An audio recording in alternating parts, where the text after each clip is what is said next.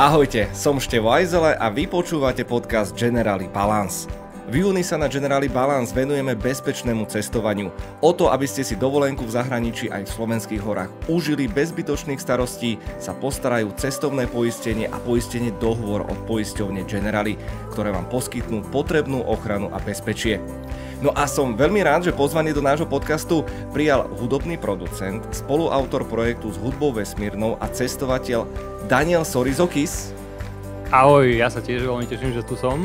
A nie si tu sám na tomto castingovom gauči, pretože máme tu dnes aj výnimočne druhého hostia, ktorým je fotograf Martin Šopinsky alias Šopy.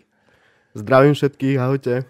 Veľmi silná zostava sa tu dnes zišla. Očakávam kvalitný kontent a možno aj viacero takých výstrach. Hlavne čakám, chalani, ako mi opíšete, ako vyzerá nový štandard cestovania, pretože pred pár dňami ste sa vrátili z takého výletiku, no, sorry zo spusti. z takého výletiku, neviem, čo si tým úplne chcel naznačiť, ale tak začal by som bolo to 10 letov za 12 dní, tak to bolo to, to náročnejšie, ale tak zase to sme my, ja som sa na to veľmi osobne tešil, pretože ako si povedal, že cestovateľ, tak ja milujem toto cestovanie, že kúpim si letenky a idem. veľmi som vždy chcel ísť názory. Priznám sa, že to bol môj sen asi už možno aj 10 rokov. A teraz som sa rozhodol, že Prosím asi... ťa, popíš e, tým no. poslucháčom a poslucháčkam aj mne, že kde sú Azory vlastne. Nech nemusím googliť. No na to tu máme e, vášnivého zemepisca Šopinského. Pán zemepisár. Ideš na to? Takže Azorské ostrovy sú súčasťou Portugalska. Ležia v Atlantickom oceáne a vlastne sú to sopečné ostrovy, ktoré sú na zlome, v tom stredo, stredoatlantickom. Je tam, myslím si, že aj najvyšší vrch ako tohto celého severoatlantického chrbátu je to sopka Pico a my sme vlastne uh, sa špacirovali po štyroch z týchto ostrovov, po jednom z nich neplánovane, ale to myslím si, že by aj Sorizo mohol možno lepšie no, áno, približiť. Áno, a po viacerých, po dvoch neplánovane. No v podstate no. po dvoch, no. Lebo pravdou to je, že tam tie prelety není sú úplne také, ako, ako je človek asi zvyknutý, že tá naša dovolenka nevyzerala, že kúpime si letenku na Azory a teraz zlietneme z Viedne a doletíme tam. My sme najprv boli v Lisabone asi dva dní, Um, tam, tam sme čakali vlastne na ten let, čo išiel. My sme nešli štandardne, kde sa chodí do Ponta de Laga na São Miguel, ale sme chceli ísť na najzápadnejší bod Európy mimochodom, kde sme sa aj dostali. To ale asi povieme neskôr potom. No a vlastne tie, tie prelety medzi tými ostrovami častokrát vyzerali tak, že sme sadli do kabíny a teraz, že dobre, tak sa ozval kapitán, že bude to trvať 35 minút. A teraz som tak zaspal v tom lietadle a sa zobudím a hovorím priateľke, čo bola tiež s nami, že počuj si, že však ja mám pocit, že som spal aspoň dve hodiny. A on, že no už tomu ver. A sme sa pozreli na telefón a fakt, že dve hodiny prešli a my, že wow, však to malo byť, že 35 minút, ne? A zrazu sa ozval kapitán, že no, je tam dole zlé počasie, tak ideme na iný ostrov, žiaľ, musíme pristať inde, mm-hmm. no a to, tak, toto sa nám stalo asi 2-3 krát. Ale nakoniec sme sa tam dostali, hej, a tie Azory, vlastne ty si úplne v úvode povedal, že poistenie na cestovné a hory, to je úplne vlastne to, hej, že vlastne cestuješ a Azory sú pre mňa, že hory a plus oceán. Taká veľmi zvláštna kombinácia. Takmer nič medzi tým. Hory, lúky a oceán. Ako ty, ty, to, ty to popísali, ako si to povedal, že, hor, že Azory sú že čo každý, každý ostrov? Že... že jednoznačne ako každý ostrov je úplne iný a sú to také netradičné tropické ostrovy v miernom pásme možno? Nie, ja viem, čo si povedal. Že ja, že čo by povedal, že každý ostrov je ako taká vieš, veľká záhrada. To je úplná pravda. Fakt, že tie Azory vyzerajú tak, že same kvety, všetko postarané, každý centimeter proste štvorcový je tam nádherný. Už teraz prúdko závidím, ale vráťme sa o krok späť. Ako prosím vás vyzerajú tie lety, keď nejaké ste tu nestihli, nejaké sa menili? My máme z internetu kopu fotiek, že prázdne lietadla. Popíšte tú procedúru, vôbec možno na letisku, čo všetko ste museli splniť. No, tak môžem začať ja teraz. Tak uh, my sme prišli vlastne na Švechat na letisko, ktoré bolo ľudoprázdne. Ja osobne som nezažil takto ako Švechat, tam bolo vyslovene pár ľudí. Nastúpili sme do lietadla, Vystúpili sme v Lisabone a to bol taký Prepa, kultúrnostný šok. Prepač, že to nebolo také poloprázdne, to lietadlo? To, to lietadlo bolo plné naopak ale potom sme vlastne prišli do Lisabonu a tam bolo komplet ako plné letisko, že to bol taký, že prvotný taký obrad možno pre nás, že v tom, tom zmýšľaní možno o súčasnom stave ako celej tej korony a celej tej situácie, že vlastne my sme tu možno ešte, možno taký nejaký, že postihnutí, že viacej a držíme tie vlastne opatrenia a vlastne prišli sme do krajiny, kde už vlastne ako začal fungovať reálny ten život a tá reálna nejaká migrácia toho obyvateľstva. No a keďže to Portugalsko je kozmopolitné, mm, či už sú to proste portugalsky hovoriace krajiny, ako je Brazília, Angola, Mozambik, čo vlastne oni s nimi, myslím si, že aj úzko spolupracujú, obchodujú a tak ďalej, tak ako o, tam či, normálny život proste rozbehnutý bol všade. Áno, ja som od známych ale počul, že, že väčšinou to je kvôli práci, ale že kvantum papierov bolo treba vyplňať, ako to bolo vo vašom prípade. Predsa lockdown už skončil samozrejme, ale predsa len. Asi by som to takto povedal, že máš na výber, že vyplníš si to online, čo je zdánlivo tá náročnejšia možnosť, lebo si musíš hľadať veľa informácií sám, musíš vedieť väčšinou dobre po anglicky alebo proste aspoň nejaký svetový jazyk, aby si sa dostal k tomu, čo treba mať a vyplníš si naozaj že veľké množstvo takých tých až agentských tajno, ako, keby si bol špión, vieš, že koľko máš rokov, kam ideš, číslo občianského, nakoľko tam budeš, kde budeš bývať, neviem čo, vieš, my sme nevedeli, kde budeme bývať, my sme si kupovali letenky a nevedeli sme, že kde presne pôjdeme, čiže sme tam proste polo vymýšľali, že kde čo bude. No ale faktom je, že Prepač, začal som tým, že máš dve možnosti, že urobíš to online alebo potom na mieste. A naozaj, že častokrát sa dialo, že ľudia vystúpili z, lietadla a teraz sa tam vytvorila strašne taká dlhá šóra. To sme zažili, myslím, že v Lisabone zrovna, hej. A my sme ten online formulár mali vyplnený a to bolo také celkom vtipné, že, že nás tam akože posielal taký nejaký SBS či policajt naspäť, že nie, že vy hen tam. A my, že nie, že my máme QR kód a oni, že, oh, že QR kód a to ako keby ani nevedeli, že existuje a tá tetuška, čo tam prišla a nám oskenovala ten QR kód, tak ona úplne bola taká prekvapená, že a fakt, že vy ho, vy ho máte. A, a vy ste sme, všetkých predbehli. A my potom. sme úplne všetkých vlastne predbehli a vyzerali sme ako taká vládna delegácia, že sme tam akože všetkých obišli a išli sme rovno preč, hej. čiže toto bolo vlastne také fajn. Ale ono to, ono to nie je zložité, hej, len, len čo je zložité podľa mňa je dostať sa k tým správnym ako keby mm, formulárom, požiadavkám a tak ďalej. Že naozaj my sme častokrát robili to, že sme volali na tie ambasády, kde inak sa so mnou že veľmi škaredo rozprávali tí, tí, tí delegáti. Na niektorí veľmi pekne, ale niektorí boli naozaj takí, že čo si myslíte, že teraz keď sem niekto bude cestovať, tak tu one stále budeme vysvetľovať, že čo hento tamto, tak ja som takže, no však ja som myslel, že to je že vaša práca. No tak to teda nie. a tak akože rúbali nás riadne. Mm-hmm. Ale dostali sme všetky info, čo sme potrebovali. A boli nejaké momenty, kedy vám lepilo v rámci týchto nejakých cestovateľských opatrení, že by z vás možno zavreli do karantény? Hneď, hneď druhý deň. Či kedy. Áno, lebo my vlastne ako tým, že sme museli mať všade 72 hodinový PCR test, keď sme chceli ako sa presúvať, tak uh, sme absolútne tým, že sme nevedeli tie relevantné informácie o tých nemocniciach, kde tie PCR testy vykonávajú, tak uh, hlavne ako keby my sme vždycky našli nejaký zoznam a keď ako Sorizo niekde telefonoval, tak sa nikam nedovolal. Keď sme niekde písali, tak, tak proste sme sa nikde nedopísali. No a e, my sme vlastne, keď sme odlietali z toho Lisobonu na tie Azory, tak akože to bola taká akože záchranná, záchranná e, brzda, alebo jak by som to povedal, že sme si museli spraviť ten PCR test na letisku, kde bol proste najdrahší a stal, ja neviem, na hlavu proste 90 eur. A to je proste bola taká položka, že dajme tomu, že keď cestujete ako takým štýlom, ako dajme tomu my sa snažíme, že nie aby to bolo nejaké že luxusné cestovanie, ale také normálne cestovanie pre mladých, tak akože tá položka, dajme tomu už hneď na tú prvú šupu v tom Lisabone, že 270 eur za testy, tak akože hej, nás, hej. nás tak a, akože a zabolela. Rožky, hopla, a, a celé to ani to nebolo spôsobené tým, že by sme my nejako podcenili tú situáciu, ale jednoducho v tom danom momente, v tom danom čase nebola šanca sa zorientovať v tých informáciách, ktoré tí Portugalci jednoducho poskytovali Hej. na tých svojich stránkach. A hlavne zabudni na také niečo, že ty si zvolíš nejaký termín, ktorý vidíš, že je voľný alebo niečo, to tam neexistuje. Ty pošleš e-mail, že chcem ísť na testy a čakáš, čo sa stane. Uh-huh. Hej, že toto je proste to brutál, že my sme vlastne mali nárok na tie free testy, lebo však vlastne oni to tam nejako ponúkajú A ja som akože tak prozreteľne napísal radšej do 5 labákov, hej? Čiže ja som vyplnil nenormálne množstvo tlačiv do 5 tých akože labákov, čo nám mali niečo poslať. No a ako Shopy už povedal, my sme nakoniec museli ísť na tie vlastné, lebo všade, kde sme došli, tak my sme mali, že 75 hodín starý test, 79 hodín starý test alebo niečo a už by sme neodleteli.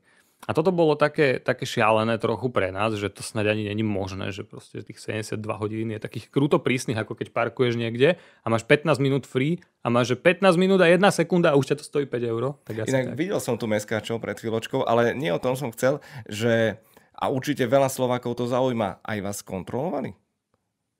Áno. No, áno. Jediné miesto, kde nekontrolujú, bol Lisabon, nie? Sa mi zdá. Pozor. Lisabon, ale keď sme a... prichádzali z Azorských ostrovov zase cestou naspäť, tak to bol akože kvázi vnútroštátny let, tak tam nás vlastne nekontrolovali. Inak e, bolo to ano. zložitejšie ešte aj o to, že vlastne tie Azorské ostrovy, oni sú vlastne také separátne autonómne územie Portugalska a ono malo nastavené tie pravidlá zase trochu inak a tam vlastne aj keď sme akože splňali všetky tie ako keby kvázi portugalské podmienky, tak na tých Azoroch nás ešte všade kontrolovali na každý ostrov, kde sme vstúpili chcene, nechcene, lebo sme sa tam proste neplánovali doviezť, ale keďže bolo zlé počasie, tak niekde sme pristať museli, tak všade vlastne od nás chceli z registráciu odpovedať, že odkiaľ cestujeme, kam cestujeme, kde budeme ubytovaní, na aký dlhý čas a, a tak. A, a ešte for bol v tom, že vlastne na tie Azory sa často mm, akože cestuje z toho hlavného ostrova, z toho Ponta Delgada, hej? Teda z toho São a tam je letisko Ponta Delgada. Čiže všetci, čo idú z Lisabonu, vlastne idú, ce- väčšina ide tadiaľ. A teraz my sme tam pristali, lebo tam bolo zlé počasie na tom ostrove, kde sme pôvodne mali pristať my, tak my sme pristali tiež na tom São Miguel. No a keď sme došli už na ten ostrov, kde sme pôvodne chceli ísť, takže odkiaľ idete? A my, že no, Sponta Delgado. No tak to musíte ísť na testy, ale že my, že ne, že my nejdeme odtiaľ, že my proste sme tam náhodou sa ocitli, že my máme všetko v poriadku. No a de facto sme ich napriek tomu, že sme všetko mali, sme ich chvíľu museli presviečať, že je to OK a že že tam nemajú s nami robiť také, také caviky, ale, ale išlo to, myslím, nie? Dalo sa to vždy. Jasné, dalo sa to, síce bolo treba niekedy akože presviečať tých ľudí, ale nakoniec tým, že sme akože ukázali koľkokrát ten vyplnený online systém, tak to nám neskutočne potom pomohlo, že nemuseli sme pol hodinu stať kde si v šore a oni boli samotní, boli prekvapení, že nejakí Slováci, ktorí podľa mňa tam na tých možno tých separátnych ostrovoch, kde sme my leteli, tam už není taký klasický návštevník, takže zrovna my sme to mali a čo ja viem, Nemci, Švajčari, akože to nemali vyčekované a museli stať niekde v rade. Predtým, než sa dostaneme už na tú naozaj krajšiu časť vášho turné, nazvem to takto, a Nelutujete to? Stálo to za to? Vlastne všetky tieto papierovačky a Čo administratíva? Si? To, to je, ne, proste... Nezopakovali by ste to? Čo si? Hneď by som išiel znova. Hej. Zajtra by som išiel, no jasné. Lebo je to, vieš, je to presne, že prvýkrát my sme... Č... Zoberme to takto, že ideš na dovolenku, tak väčšinou cestovka ti všetko vybaví. Alebo ti povie, kde si to vybavíš my sme išli všetko sami, lebo, lebo presne ja sa s tým často stretávam, že ľudia mi píšu čo aj na Instagram, že wow, že, že to kde si, že to je aké luxusné a neviem čo a že čo ja robím a koľko ja zarábam a bla bla a pritom to je vieš úplná blbosť, lebo my síce chodíme na také, nazvime to v úvodzovkách, že luxusné destinácie, ale my si veľmi potrpíme na to, že aby sme sa tam dostali fakt, že za pár euro. A potom to tak akože vyzerá, že, že na oko, hej, že wow, ale čo tým chcem povedať je, že my sme naozaj, že úplne sami od piky si všetko išli, vieš, že od, od e, toho, že kadiaľ poletíme, cez to, kde budeme bývať a že kde je to proste lácnejšie, to sme si všetko proste sami riešili, aj tie tlačivá, ako som hovoril, sme volali hen tomu známemu tomu, tam na ambasádu, hen tam na ambasádu, proste, že podľa mňa sme na blackliste v troch krajinách už. Čiže, čiže, čiže to bolo také, že náročné, lebo to bolo, že prvýkrát presne taký, že rovno hneď takýto trip, vieš. Obaja ste mimochodom skúsení ostrelení cestovatelia a ja by som dal do pozornosti aj našim poslucháčom, poslucháčkam a vaše zápisky z blogu Generali Balance, pretože to bol veľmi uh, milý projekt, ulietávame si, kde vás Dominika posielala spolu s Marekom naslepo na výlety do rôznych destinácií, aby ste vlastne vôbec netušili, čiže celkom riadna divočina. Mm-hmm. A čo sú také najcenejšie skúsenosti, ktoré ste vďaka tomu projektu nadobudli? Čo ste možno teraz v rámci balenia napríklad eh, na tento trip využili? Určite, inak to si veľmi dobre trafil klinec po hlavičke, že balenie sa. ja som veľmi, jak som začal cestovať sám, tak ja som veľmi začal chápať presne to, že není podľa mňa horší pocit, keď sa, ako keď sa vrátiš z dovolenky a otvoríš si kufor a máš tam 4 alebo 10 alebo hoci koľko vecí, čo si v živote nedal na seba. Vieš. A toto som sa napríklad ja naučil, že nepotrebuješ, väčšinou keď ideš do teplej krajiny, nepotrebuješ nič. Hej, že stačí ti naozaj, že 8 tričiek alebo, alebo 9 a samozrejme nejaké spodné prádlo. Tam nič nepotrebuješ, lebo tam proste nezamrzneš. Takže ja reálne, čo sme chodili presne na ten e, vlog, že ulietávame si, tak to bolo také obmedzenie, čo tam Dominika dala, že máme iba príručnú batožinu, čo sme si najprv hovorili, že šialenosť, ale teda Marek začínal v úvodzovkách, že on nemal toľko cestované a ja som vedel, že to nejako snáď dáme. Severný pol bol drsný, že tam to, no, to Laponsko, tak to bolo, že to, to by som prijal väčšiu batožinu. Ale inak, inak e, dokážeš sa, fakt, že, že, že dokážeš sa veľmi dobre zbaliť do malej batožiny. A dokonca ja mám ešte taký trik, že ja cestujem častokrát na dlhšie a ja hrozne moc veci, ktoré by si človek normálny zbalil, si vôbec nezbalím. Napríklad shower gel, alebo nejaké mydlo, alebo nejaký šampón. Väčšinou si to kúpim v tej krajine, pretože je to pre mňa efektívnejšie a celé je to proste lepšie, ako by som si to mal brať. Vieš, že pre mňa je proste o mnoho dôležitejší ten ľahší, ľahký ruksak a tá voľnosť toho pohybu, že môžem ísť hoci kam, akože sa tam s niekým mám doťahovať a vybalovať to na tých kontrolách letiskových, že ešte taký šampónik mám a ešte túto mám hento a tamto, vieš, úplne neznáša. Ale a ty si ten, čo chodí v štyroch svetroch do lietadla pre istotu, aby ušetril? Mm, zase si budem protirečiť v low-cost cestovaní, ale aj áno, aj nie. Ja som skôr ten, čo si ten sveter dokúpi, keď mu chýba. Hej? Presne, e, pokiaľ sa bavíme, že cestuješ do Norska, Švedska a neviem kde, tak ten sveter stojí asi 200 eur. To je problém. Ale pokiaľ ideš do destinácie, ako chodím ja, že si do Ázie alebo neviem čo, tak tam to buď nepotrebuješ, alebo keď tak, tak ten sveter si kúpiš proste za 5 eur.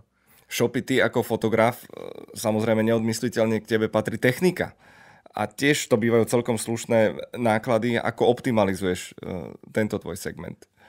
tak doma špekulujem, že ktorý objektív zobrať a ktorý nie a tak väčšinou potom beriem, že z hľadiska aj toho, že aký mám zámer s tým fotením, tak e, väčšinou to potom ohraničím, že proste široké sklo a dajme tomu jeden teleobjektív a vlastne v tom sa potom musím vynájsť vlastne celú tú dovolenku alebo pracovnú cestu alebo pracovnú cestu lomeno dovolenku. Ale uh, teraz, keď sme boli na tých Azoroch, tak uh, tým, že sme tam chceli ako najmä pracovať, čo v podstate sme sa nezastavili celý čas, tak eh, som mal vlastne dve tie príručné batožiny a, a akým spôsobom akože sme sa zmestili do toho lietadla. Raz, tuším, tá batožina musela, alebo dvakrát musela ísť uh, s tým oblečením, uh, musela ísť vlastne dole, lebo tá letecká spoločnosť nemala ako keby tú možnosť, že môže mať človek dve príručné batožiny, ale akým spôsobom smart, akože sme Na Tetrisovom si to tak. Hej, hej, hej. A ja sa veľmi teším, aký je Shopy teraz taký, že sa do mňa nepúšťa, ale realita bola úplne iná. On, však si mi zakázal si zobrať kom a hento a chudačisko tam fakt, že s malou batožinou, lebo on ako fotograf podľa mňa najviac doplatil na, na, tú, na tú batožinu. No veď preto sme... som zapýtal, samozrejme. a teraz je veľmi zmierlivý, sa mi to páči, no ale, ale úprimne by ho niekedy bolo aj ľúto, lebo Uh, mal takže 12, 10 kilový batoh, ktorý chvála Bohu nikto nikdy neodvážil, lebo keby odvážil, tak nám rovno napária, že to máme doplatiť. Čiže nonstop mal taký 10-11 kilový batoh a k tomu taký malý batoh, ešte kde mal tie veci ostatné, vieš, tak to ma tak akože vnútorne mrzelo, ale poradil si si. Mm, jak som si poradil, ale ja by som možno ešte pridal akože k tomu, čo si hovoril, že uh, síce sme išli akože kvázi na juh, ale tie Azorské ostrovy, oni majú špecifické podnebie a aj keď si spomínal to, že vlastne do tých teplých krajín akože netreba nič, tak na tie Azorské ostrovy tým, že sme sa tam potýkali vlastne s teplotami, že 13 stupňov cez deň, to je druhá vec, že pocitovo tam to bolo úplne o inom, lebo vlastne bola tam vysoká vlhkosť vzduchu a fakt, že keď sa oprelo slnko, tak tam bolo proste na nevydržanie teplo 35 stupňov, ale ako náhle trošku zašlo slnko a tých mrakov tam bolo akože celkom dosť, tak ako človek musel si obiekať proste bundu, čiže ja bez takej nejakej goretexovej bundy, ako ťažko by som sa tam možno, že vedel obracať v nejakom, nejakom pohodlnom proste pracovnom nasadení. Čiže bolo nám treba proste zobrať tentokrát tú bundu do toho lietadla na seba, lebo sme išli do takej destinácie, kde vlastne a v takom čase, kde tie teploty neboli nejaké. A Sorizo už spomínal, že on do kufra nedáva e, showergel alebo mydlo, čo naopak nesmie chýbať vo vašich kufroch. Či už je to talizman, alebo naozaj nejaká tvoja osobná vychytávka na každú cestu. to bude smiešne, čo teraz poviem, ale ak mám povedať, že moja osobná vychytávka, tak moja osobná vychytávka je, že, že si trička uh, neskladám, ale rolujem uh-huh. do takých akože roliek, lebo to dokážeš tak dobre stlačiť a ono sa ti to moc nepokrčí, keď to urobíš dobre. Hej? Takže prvá vychytávka. Druhá vychytávka je, že uh, zistil som, že skoro všade si vieš oprať. Hej? Čiže naozaj si berieme radšej menej veci a radšej si zoberieme taký ten malý, väčšinou gelový práci prášok, ktorý akože má pár gramov a zoberieš si ho a nepotrebuješ akože si potom brať ďalších 5 vecí. Toto je naozaj iba otázka komfortu, hej, lebo sú naozaj ľudia, ktorí majú radi proste Uh, nechcem sa tu baviť o práci v prášokoch, ale naozaj poznám takých ľudí, že proste on má rád svoj práci prášok, svoju Aviva, že on to bude mať a keď mu niekto niečo to opere inak, tak to neznáša alebo, alebo jednoducho nechce nosiť to isté, hej. A my sme presne tí, to je zase súvisí s tým low costom, hej. Že my si nedoplatíme za tú batožinu. My radšej si budeme prať, vieš. A budeme, neviem, vieš, ako to myslím. Skrátka, že, že kde, sa, kde sa dá, akože, nechcem povedať, že ušetriť, ale zefektívniť to a zjednodušiť, tak, tak to je dôležité. Lebo, vieš, ono to vyzerá možno, že na začiatku, že batožina. Lenže áno, tú batožinu si musíš zaplatiť, ale musíš ísť o mnoho skôr na letisko, lebo to musíš dať na check-in Takisto musíš potom dlho čakať na letisku, keď si už došiel, dorazil, lebo ti tá batožina z toho check-inu musí výsť a tak ďalej a tak ďalej, vieš. A my cestujeme s tými príručnými, s príručnými, my dojdeme proste na letisko 3 čtvrte hodinu pred odletom, sem tam nestihneme let potom. Ale jednoducho my sa tam nalodíme a potom dojdeme, vylodíme sa a ni- nikde nečakáme, my hneď fičíme a to sa mi na tom strašne páči. Ako sa dá nestihnúť let, prosím pekne? Tu videl som vymenené pohľady nejaké. to bolo, že hej, že bavili sme sa tu, že tam nám odklonili led a hen tam sme pristali inde a neviem čo a jednoducho z tých desiatich letov všetky meškali. Hej, že naozaj, že všetky proste vyrazili sme o pol hodinu neskôr, o 10 minút, proste všetky komplet meškali. A išli sme naspäť, že už domov, neviem z akého dôvodu, my sme ešte čosi dotáčali v meste a, a jak sme sa vrácali naspäť, jak najväčší frajeri sme došli proste, že 3 čtvrte hodinu pred odletom, lebo sme zabudli, že Lisabon e, ten fičí na plné obrátky a teraz tam v tej odletovej hale vlastne na tých, na tých kontrolách boli, že dve kontroly otvorené, bolo tam asi, že 3000 ľudí, samozrejme sa tam rvalo a my sme, my sme to ešte relatívne, by som povedal, že stihli, lenže led nemeškal. Hej, bolo to no, že nízko nákladovka, došli sme tam, že 15 minút pred odletom a oni, že gate closed, akože zatvorená brána a my, že to si robíte srandu. A že však sa tam prehúpne, neviem čo. A oni, že nie, nie, letisko, ono lietadlo už je hen tam, pozrite. A normálne, že odpojené. Už rolovalo. Akože, a, a musel odísť skôr. My sme normálne potom poslali stiažnosť, že akože musel odísť skôr. Lebo fakt, akože ešte 15 minút do odletu a on už akože sa tváril, že ide na drahu. No Jasne, tak čiže kto meškal, kto bol na vine? Kapitán lietadla. Dobre, uzavretá prvá. Poznáme jasne, jasne, že my, však máš tam byť, že dve hodiny predtým, no ale... Áno, Nečakali sme to. Toto je jeden z dôvodov, naozaj, my sa tomu smejeme a ja tiež, keď si čítam tie, že nezabudnite medzinárodný let 3 hodiny pred a vždy mm-hmm. sa mhm. pousmejeme. Asi to má nejaký zmysel a práve vtedy, keď to nechceš, tak lietadlo nemešká. Ale po... stalo sa to prvýkrát, vieš. Snáď aj posledný. Snáď aj posledný, no. Tak tam bol možno problém už niekde, kde si na začiatku, lebo my t- pôvodne ten let sme mali v úplne inom čase, sme ho mali až To večer. je pravda. Tiež a my sme mali prehodili. proste nasekaný ten program tak, že aby sme stihli vlastne, že všetko, čo sme potrebovali, a, a tým, že ako toho bolo veľa, tak uh, proste nám tie o 4 hodiny skôr vlastne uh, ten let dali skôr. A nám tie 4 hodiny neskutočne chýbali. A keď sme vlastne prišli na to letisko, tak ako zrovna ten let, ktorý my sme potrebovali, aby išiel teda minimálne na čas, tak zrovna ten pustili proste ešte skôr, ako ho posunuli dopredu. No. Mohli si toto dovoliť. To odporné. Chlapi, poďme naspäť na tie Azory. Povedzte mi váš najväčší zážitok a môže to byť čokoľvek, môže to byť jedlo, prostredie, fotografia. Čo máte vyslovene, že pred očami? Alebo na jazyku? Všetko. Neviem, čo, čo máš taký highlight? Určite to bolo proste e, množstvo množstvo vodopádov, ktoré boli vlastne okolo celého toho nášho ostrova, toho nášho cieľového. Ten ostrov sa volal Flo- Flores. Portugalci ho volajú nejak, že Fložeš, alebo tak nejak. Dokonca tam by som povedal, že na tých Azorských ostrovoch je taký iný dialekt, že jak u nás proste na východe, že majú svoje skomolené vyslovovanie. Tak Alebo oni, záhoráci oni, portugalskí, jasné. Hej, hej, tak proste oni to tam podľa mňa ešte tak inak vyslovovali ako, ako zbytok. Čiže nikto nám tam vlastne, keď sme sa vyjadrili, že kam teda cestujeme do tej cieľovej destinácie, tak akože nám nerozumeli, keď sme to povedali kvázi tak anglicky. No a určite sopečné také tie jazera v tých, v tých, tých kalderách zatopené vodou, ktoré bolo každej inej farby, od čiernej, azurovo-modrej, cez, ja neviem, tyrkysovú až po, po zelenú. Uh, čo... Fascinujúca je proste tá kombinácia, vieš, že, že ja akože nejdem sa tu nejako vyťahovať, ale že fakt som už niečo precestoval, ale hen to som nikdy nevidel. Taká, taká, taká magická naozaj spojenie, že ten, ten oceán s tými obrovskými vlnami, hej, čo tam sa rozbijajú o tie, o tie útesy, k tomu, že hory, hej, ale úplne iné, ako ich poznáš. Z ďalky vidíš krásny zelený kopec, povieš si, že tam idem na vrch. Dojdeš k nemu ale zistíš, že tam není tráva, tam je, že 5 druhov machov a líšajníkov a ty, keď na to vlastne šlapneš, že vyzerá to ako taký krásny koberček, tak ty si neviem, že pokolena v machu. Hej?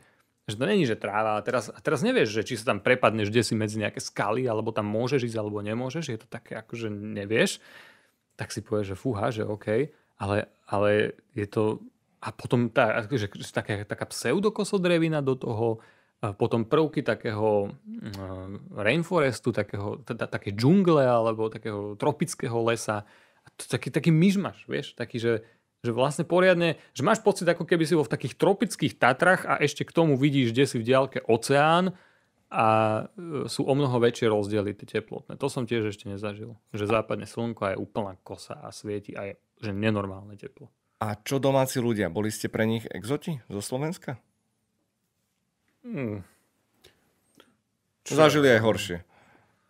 No, ja si myslím, že ako, keď sme povedali, že Slovensko, že ako vedeli, vedeli o nás. Tak sa tvárili. Áno, ale akože priznám sa, že tá pani na tom ubytovaní na, v tom Floresi, tak ako si myslím, že tam Slováka zapisovala vlastne prvýkrát. Mm-hmm. Ono je ťažké sa na ten ostrov, kde sme my boli, dostať. Hej, že tam nič neletí poriadne priamo a keď tak, tak to bolo, také, také to bolo náročnejšie trochu. Takže na, asi Slo, Slováci tam moc neboli. Uh, ale čo, čo tu tež si sa pýtal vlastne, že, že či sme boli pre nich exoti. Ja by som to normálne povedal opačne, že pre mňa boli tí Azorania exoti. Ja neviem prečo, ale uh, nechcem sa ich, akože nemyslím to zle teraz, nechcem sa ísť dotknúť, ale a oni to nebudú asi pre počuť. mňa, hej, ale že pre mňa oni boli takí čudní všetci. Že, že v niečom, ja ti neviem to presne popísať, taký, že, že tak, taký zvláštne sa aj tvárili, ale nie úplne, že komplet všetci, ale dosť veľa. Hej, a dokonca som dosť veľa tam videl aj takých ľudí, že niektorý bol že obézny, potom druhý bol že veľmi chudý, potom jeden krýval, druhý bol neviem aký, že taký, taký, mm, nie šopy, nemáš taký pocit? Že taký... Tak je to asi proste izolovaný ostrov uprostred ničoho a ja osobne si myslím, že tam je taká, taká možno taká nejaká úzkoprofilovosť, možno, že aj, aj nejaká, možno také genetické sú tam zvláštne nejaké predispozície. Ale ako sa práve tieto lokálne veci prejavili do vašej tvorby? Ha, to je otázka teraz za milión. Či sa vôbec prejavili uh-huh. tieto lokálne veci? Myslíš čo? Ľudí, ľudí a tak? Ľudia, ľudia, atmosféra. Atmosféra, vieš, napriek, napriek tomu, že hovorím, čo hovorím, tak tá atmosféra je výborná. Akože tam to je taká slobodná krajina, taká, že zastavíš autom, kde chceš. Hej? Niekoho sa spýtaš, môžem tu stať a pozeráš na teba, že čo sa ho pýtaš. Vieš, taký, takže prečo by si tam nemohol stať? spýtaš sa, že môžeš sa, môžem sa aj sem pozrieť, hej, že všade môžeš ísť proste. No je, že dojdeš niekam, chceš sa ísť pozrieť hen tam, no tak proste ideš.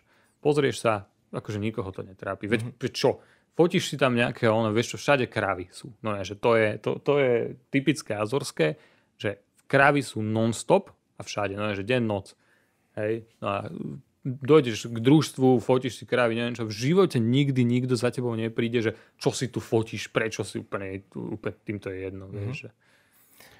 Možno tým našim cieľom ani nebolo tak, že zobraziť, e, ja neviem, tú prácu ľudí alebo v rámci nejakej dokumentaristiky, akože ukázať, že ja neviem, nejaký taký bežný život takého bežného Azorana.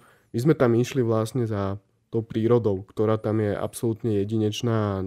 Ani ja, ani Sorizo sme sa s takou proste nestretli ešte, ešte, ešte nikde, že naozaj veľa, veľa takých špecifických vecí, na ktoré neviem, že či sa môžem o tom teraz rozhovoriť, lebo máme, máme, nemáme to proste v programe. Uh, je to ostrov, ktorý má len 12 x 16 kilometrov my tým našim nabitým programom sme mali na jeho vlastne, že 4,5 dňa. Uh, môžem povedať, že za tie 4,5 dňa na tomto malom ostrove, ktorý sme za pol hodinu prešli autom z jednej strany na druhú, tak je tam toľko toho, že každých 100 metrov, keď sa zastavíte s tým autom, tak máte nezabudnutelný proste výhľad, uh, jedinečný, s ktorým ste sa proste nestretli. A ja osobne si myslím, že musíme tam ísť podľa mňa ešte, že jeden, dvakrát na to, aby sme len tie prírodné krásy, akože z toho jedného malého ostrova, dokázali nejakým spôsobom akože zdokumentovať a absorbovať. Lebo či to sú proste nejaké vysoké kopce, ktoré sú porastené ehm, nie že 5 druhmi machov, 500 druhmi machov, v ktorých sa človek brodí. Ehm, tá kosodrevina je tam taká iná ako na Slovensku, že to není tá taká, taká prízemná také, také nič, čo proste človek pozná z Tatranskej magistrály. Ja by som povedal, že tá kosodravina je tam prerastená. Každ, každá jedna tá kosodravina je unikátna. To sú jak malé bonsaje, ktoré ako keby že tam vyrastajú kde si z toho machu. Uh, sú tam tie vodopády, ktoré zrazu sa vám vrhajú proste z niekoľko stometrových proste zrázov, či už priamo do mora alebo do, do nejakých jazier sú to také cícerky, ktoré sú ale veľmi akože hutné na tú vodu, ktorá neviem poriadne, kde sa tam vlastne berie.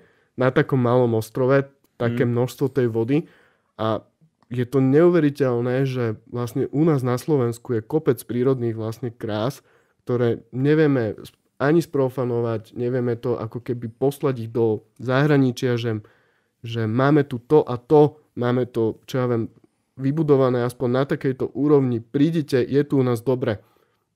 Azory, úplný opak. Možno tí ľudia boli tam takí, ako povedzme, že jednoduchší, alebo ako by som to povedal, lebo v podstate sú to potomkovia kadejakých rybárov, e, pirátov a neviem koho všetkého, kto tam na tých Azoroch ako reálne žil. Snáď ale, nebudú počuť fakt. ale, ale nie, to je naozaj, ako ja som si čítal o tom, a že tam korzári proste akože boli dlhý čas a, a neviem čo, a to sú ako reálne asi ich potomkovia ale, ale jednoducho tam tým, že to bol proste malý ostrov, starali sa tam o každý jeden meter, po, po ktorom sme išli. Tam nebolo proste, že cesty, ktorá by nebola upravená, trávnik okolo nej, neboli vysadené kvety. Systém ako odvodňovací, to mňa osobne fascinovalo, že oni naozaj, že oni to tam udržiavajú, ten, ten skleník pod holým nebom, udržiavajú proste naplnený tou vodou, proste neustále tam každý jeden naozaj meter aj kopca bol, bol premyslené, proste spravený tak, týmto, že, no. že, že jednoducho, aby tam udržali si tú vodu, aby to bolo stále zelené, aby to nenarúšalo ten raz tej krajiny celej. A toto bol asi taký pre mňa najväčší ten zážitok, že dokázali z, proste zúžitkovať všetko, všetko, čo bolo na tom ostrove. S týmto musím iba súhlasiť. Mal si pocit, ako keby to bolo že vyrobené na mieru. Mm-hmm. No, že ako keby si si, no, že mal si pocit, že niekto si povedal, že spravíme takú prekrásnu záhradu a urobíme tam obrovské kopce a z tohto bude výhľad, ale nie len tak na hociaký kopec, ale na taký krásny čadičový. A tuto dáme nie jeden vodopád, dáme ich tam 50 proste. A tuto jazero. A tuto dáme vyššie položené jazero. O 100 metrov vyššie bude ďalšie jazero. A úplne, že nechápeš, vieš. Pozeráš a ne, nechápeš, že jak to znie. No, to je pravda. No. Raz ostrova, ostrova alebo ostrovov doplňajú ešte najmä tomu takí vtáci stiahovaví, ktorí vlastne tam všetky tieto rastliny nejakým spôsobom zaniesli, aj veľa tých okresných. Kagaros, nie? Kagaros. Uh, nie len oni, ale aj iní, ale ten Kagaros je taký špeciálny vták, to hneď poviem za chvíľu. Ale že napríklad tie hortenzie, pre ktoré sú známe tie Azory, tak ako som čítal, že pravdepodobne tam zaniesli akože tie semiačka z, z Floridy, hej, tie vtáci. Tých, tých vtáci. No a nám špeciálne akože, uh, nie že vadil, ale sme neboli takí proste zvyknutí na jedného takého nočného vtáka, čo tam vlastne žil my sme bývali nedaleko majaku, ale potom aj keď sme bývali nie v blízkosti majaku, tak akože stále nám robil proste v vodzovkách zle v noci a mal taký špecifický proste krakot a, ja, ja myslím, som... a Dano, Dano urobil aj nahrávku toho. Áno, tak, áno. Ja vám ju pustím teraz, pustiť. jo? Môžem vám ju pustiť? Poďme na to.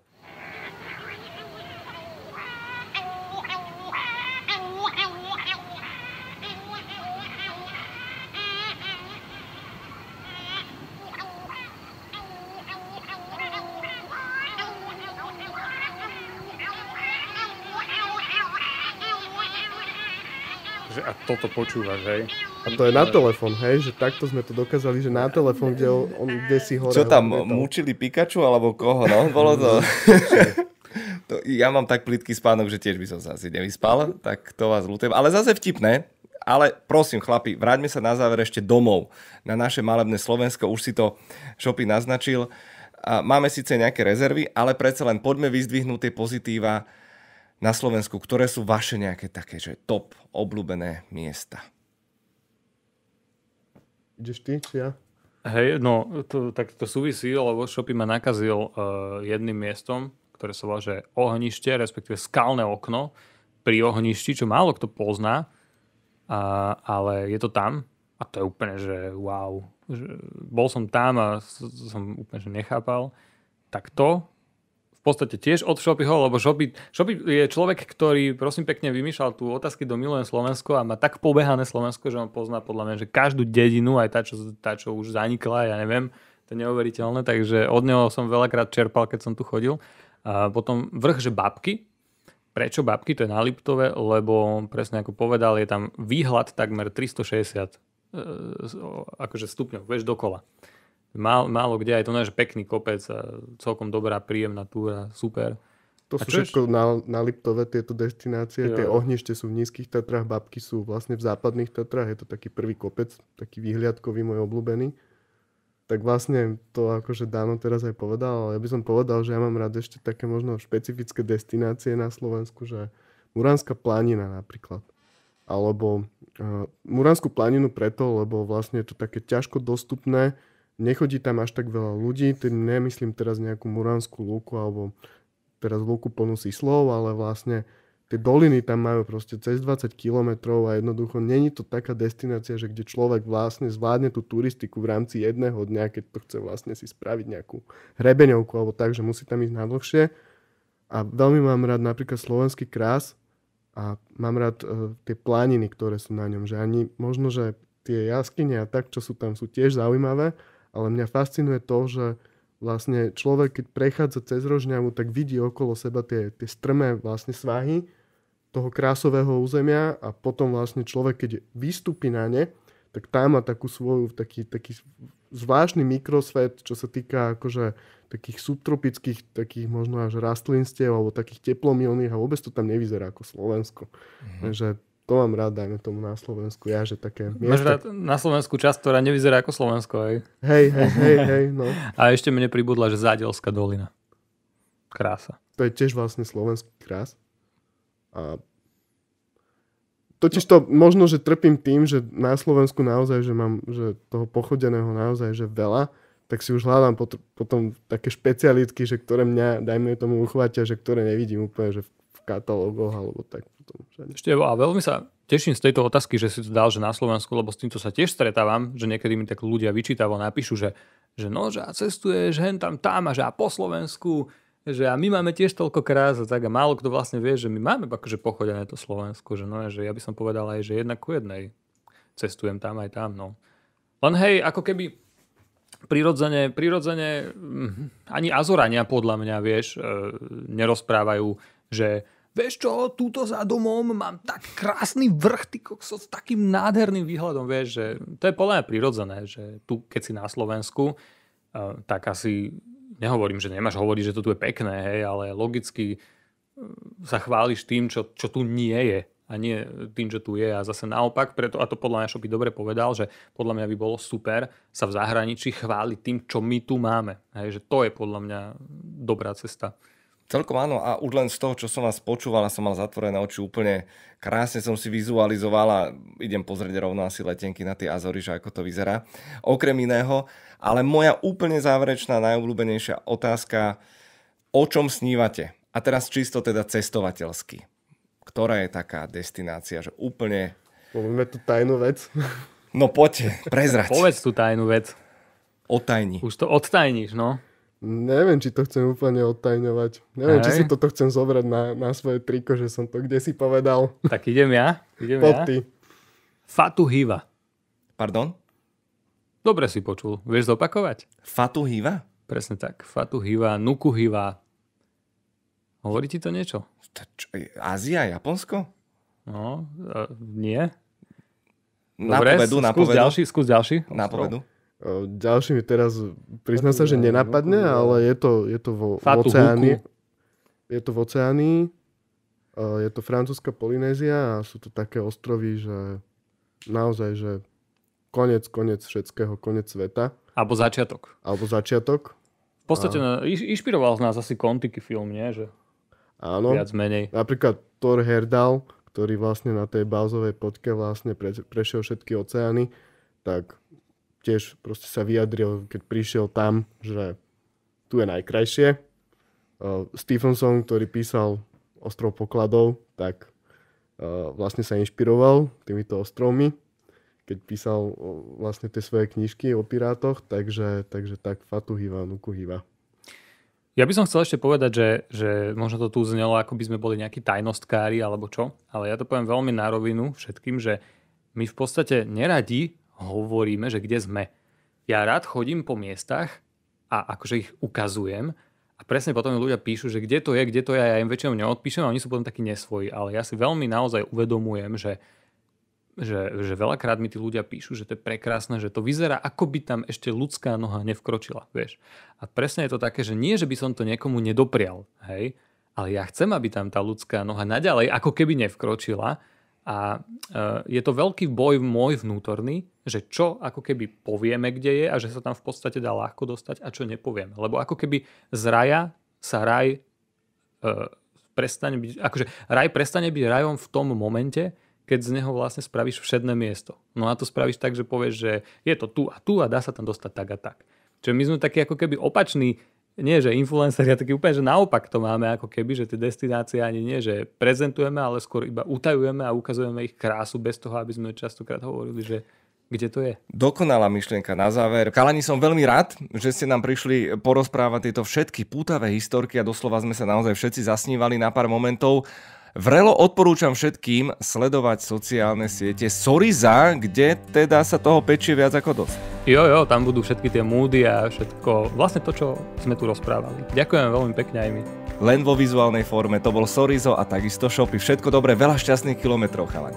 Ďakujem.